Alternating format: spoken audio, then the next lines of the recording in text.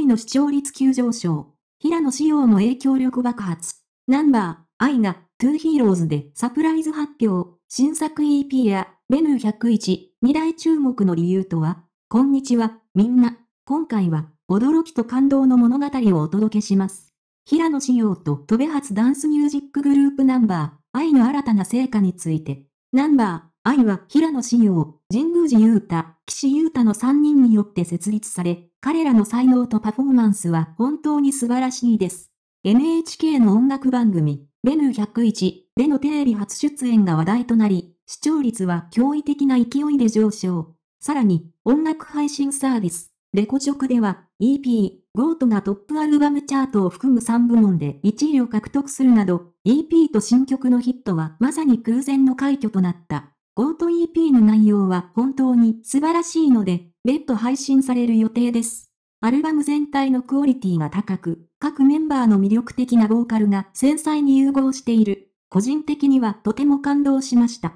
今後どんな新曲が発表されるのか楽しみです。また、 Number_i は Genius Japan チャートで大成功を収め、 Genius Japan 自体も Number_i に関心と敬意を示し、同時に Genius Korea と同社からお祝いのメッセージが届き、世界的な注目を集める企業となった。さらに、会場101ではナンバー、愛、ザランページフロムウェールトライブ ATS、K ワズイズが共演し、ダンスをテーマにしたクロストークを展開し、視聴者を魅了した NHK メニュー101の公式ツイッターでナンバー、愛のビートに合わせて演奏する動画も話題となり、そのパフォーマンスには多くの賞賛の声が寄せられた。ただし、ナンバー、愛のパフォーマンスについては議論があります。特に放送後、口パクをオフにしたことや男性歌手が歌わなかったのではないかという疑惑が SNS 上で広く拡散した。しかし、その成功は誰もが認めるところとなり、プロのダンサーをもうならせる圧巻のダンスパフォーマンスで視聴率も急上昇した。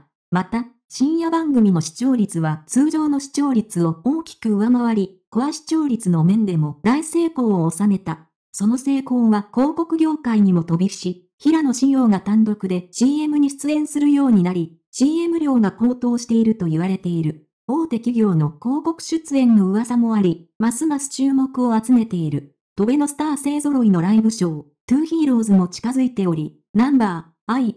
アマゾンプライムビデオのテレビ、コマーシャルに大きく出演しています。特に平野志陽のソロ曲が収録されていると伝えられており、ファンはパフォーマンスを楽しみにしている。平野志陽がアジアアンバサダーを務めるイブ・サンローラン・ボーテの活躍に改めて注目と期待が集まっている。私たちは今後も、ナンバー、愛の成功を見守っていきます。彼の才能とパフォーマンスはまさに未知の可能性に満ちています。今後のさらなる発展を楽しみにしています。最後にナンバー、愛のパフォーマンスの感想をお願いします。彼らの成功についてどのようなことを期待していますか？ご意見、ご感想をお聞かせください。これからも彼らの活動に注目してください。